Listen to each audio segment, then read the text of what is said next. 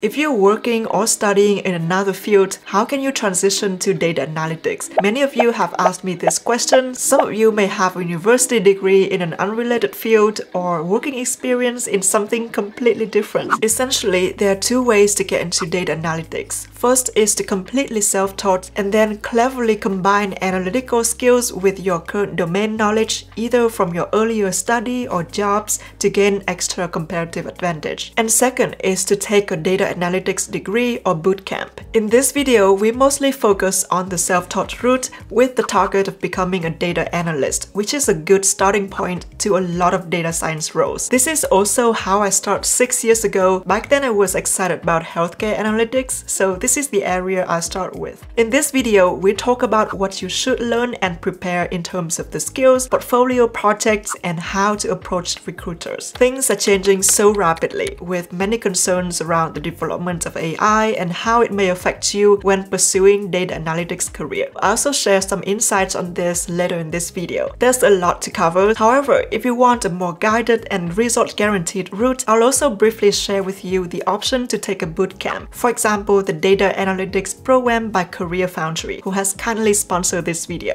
Let's get started. There's a lot of different job roles that involve working with data and turning it into insights. Long ago, people who did this kind of job would be called statisticians. Nowadays, I find that sometimes people are too hung up on titles and it can get confusing really fast. If we look at job postings, we see business analyst, research analyst, analytics consultant, junior data scientist, and so on. Not to mention data analytics plus X kind of jobs that are roles that are specific to a domain, such as HR data analyst, sales analyst, marketing analyst, and so on. To avoid the confusion, I find it more useful to understand the nature of the job and what skills you actually use. So in this video, I'll simplify all these titles as data analyst. A data analyst is someone who analyzes data, and data analysis is a process of inspecting cleansing, transforming, and modeling data with the goal of discovering useful information and informing conclusions and decision making. So working as a data analyst can give you a very great foundation for you to progress into data scientist or data engineer or other kind of data science job roles. The median salary of a data analyst is $95,000 in the US. The demand keeps rising for people who have the domain knowledge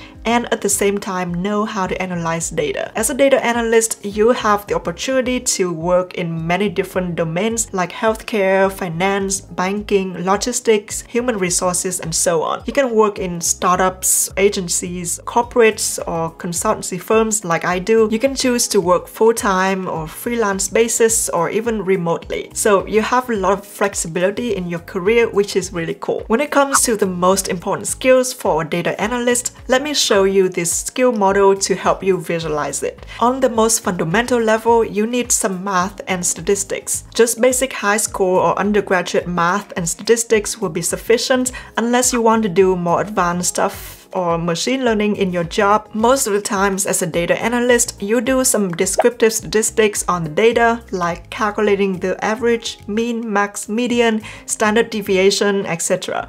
Depending on the projects, you might also want to do some outlier detection, hypothesis testing, linear regression, or clustering, or even machine learning. So it would really depend on your job and your projects. Secondly, a data analyst would need some tools. They are hard skills that involve using specific technologies or software. As a data analyst, you want to get three things done almost on a day-to-day -day basis. Extracting data, analyzing data, and visualizing data to communicate insights and tell a story. There are many tools available that can help you with each of these tasks or all of them. If you're not sure which tools are most relevant, Luke Barousse built a great website for exactly this purpose. He collected and analyzed real-time job postings around the world. You can look for the technical skills that are most often required for a data job. According to the data, the most in-demand skills for data analysts are SQL, Excel, Tableau, Python and R. You can choose to learn Power BI as well, but I think if you know Tableau, then Power BI should also be quite easy to learn. In recent years and in the future, many data analysts will work with big data, so it may be useful for you to learn the big data versions of these tools as well, such as Spark SQL for querying big data and also PySpark for working with big data in the Pythonist style. On the next level, we have soft skills. It's super important for data analysts to be able to communicate insights because you're going to be working with business stakeholders, with product managers and other key stakeholders. You're gonna need to ask questions and understand the business problems and iterate through different analysis and results with them and finally come up with the insights and the conclusions and the recommendations for the business. Most of the times communication and storytelling will take place in form of presentation or documentation or emails or dashboards. It's also the key to know how to ask the right question. And finally, on the top level, I'd say we need some domain knowledge. It gives you the ability to really understand the business questions and also better understand the data as well. If you're working for a bank or for a trading platform, you probably need to learn something about finance. This domain knowledge you can get from either your education background or your working experience in the field. There are many ways and resources to learn these skills. I made another video earlier on my channel about how to learn these skills fast with online courses. In another video, I talked about all the books I'd recommend for learning data science and there's also a lot of free lessons on YouTube and you can even use ChatGPT to learn Python and a lot of different skills, which is also a great idea for self-learning as well. For math and statistics, it can be quite easy to get into the rabbit hole and never feel like you've learned enough. And for me, after six years, I can tell you I still feel the same way. But it's okay to have the basic to intermediate understanding and a lot of things you can actually learn on the job, so don't be too worried about not knowing enough. For Excel, I'd say you want to really master it. You want to know the basic things like the back of your hand, things like VLOOKUP, index match, conditional formatting, creating pivot tables and you can go for more advanced things like macros and VBA to automate repetitive tasks. And optionally, Power Query also if you need to connect different data sources. In the next few years, I guess all of these small tasks can be easily automated with AI. So the main competence we need is knowing how things work and if they work as expected. It's much easier to ask help from ChatGPT to write some VBA code for you if you know already how VBA works.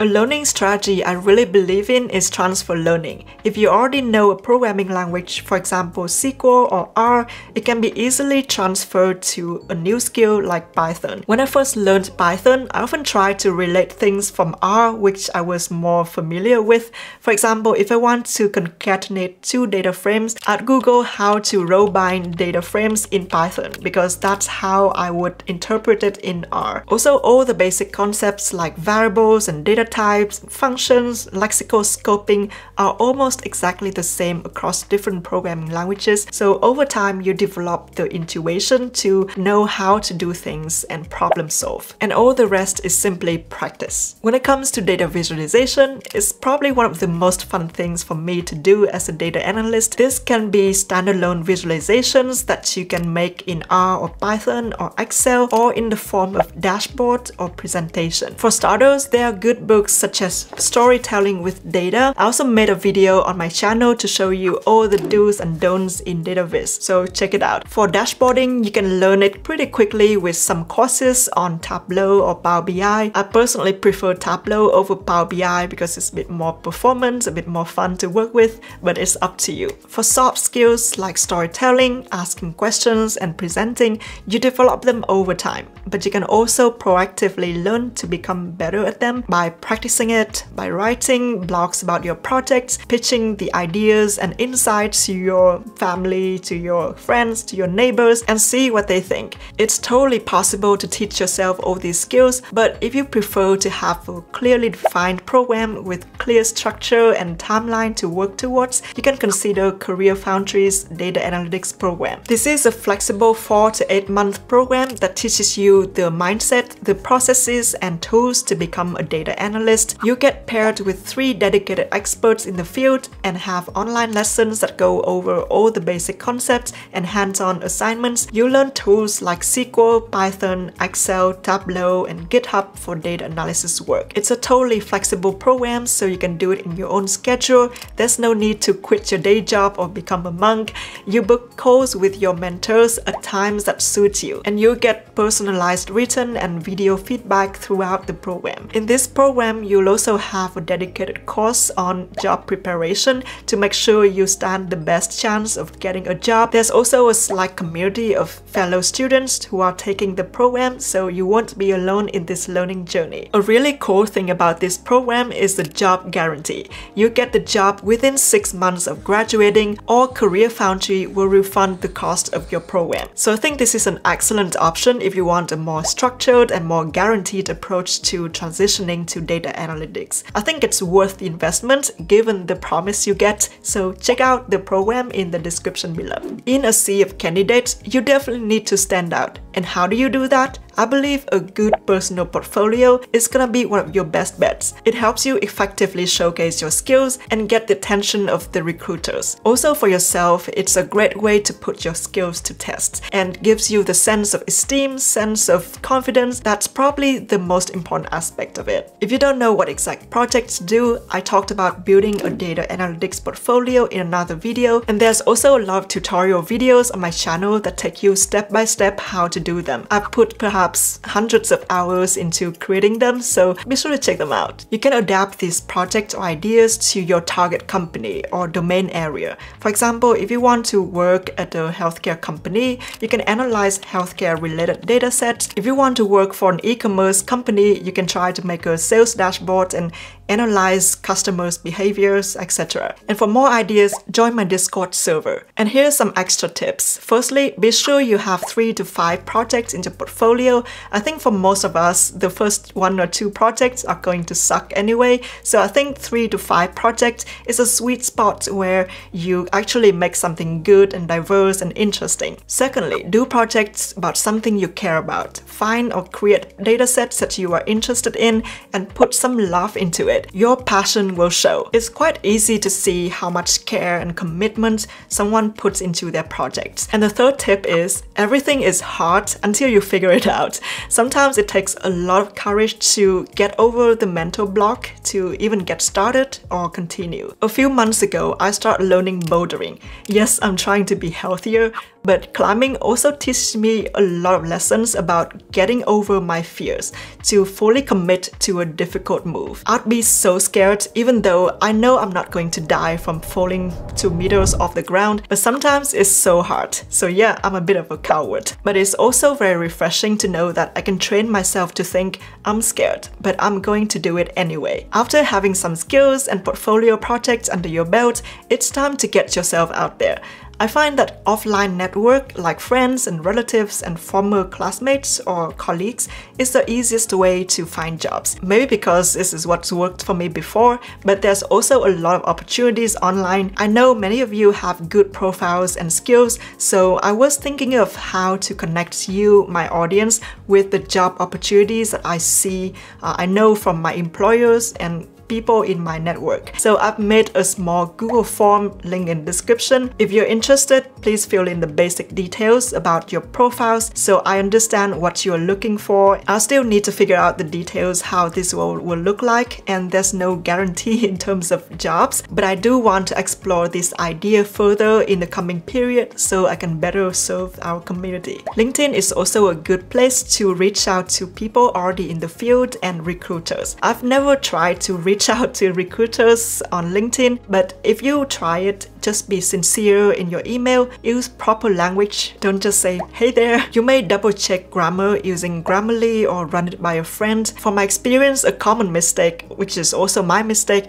is to undersell yourself. If you're really new in the field, you may be tempted to say, I just graduated and I'm still learning. It may be true, but it's not what employers are looking for. You may want to frame it in a more assertive way along the line of what you have done and what you could contribute to the company based on that. For reference, definitely also make sure to send the recruiter an up-to-date resume that should include the links to your portfolio projects like GitHub repos or portfolio website or other mentioning of your projects online. Also, if you have any kind of connection to the company, even the slightest, like you attended uh, an event by the company or talked to someone there, bring it up. If you have any previous working experience or some domain knowledge, you should definitely leverage this. Even if you worked as a barista or cashier at a supermarket, this counts as your domain knowledge. Data analysis is nothing without context, without business problems. If I were you, I would definitely mention these experiences and try to link them with the job I'm applying for. Try to tell a little story and show them what I have learned and that may benefit the company. It's not always easy or straightforward, but I think this is a very effective and clever strategy. Okay, talking about AI, there's no doubt that large language models and AI tools will transform analytical jobs at some level. A recent analysis found that large language models such as GPT could have some effect on 80% of the US workforce. Some creative and high-paying jobs are most vulnerable are writers, web and digital designers, together with financial quantitative analysts and blockchain engineers. But I think overall, the upsides are going to outweigh the downsides. A very recent study showed that the AI tools helped the least skills and least accomplished workers the most, decreasing the performance gap between employees. So in other words, using AI, the poor data analysts will get much better and the good analysts will simply get a little faster. As you probably already know, data preprocessing perhaps takes 70 to 80% of the work for many data analysts and data scientists. Most of it is pretty tedious and annoying, so I think tools like ChatGPT and GPT-4 can help us automate a lot of those tasks and simplifying and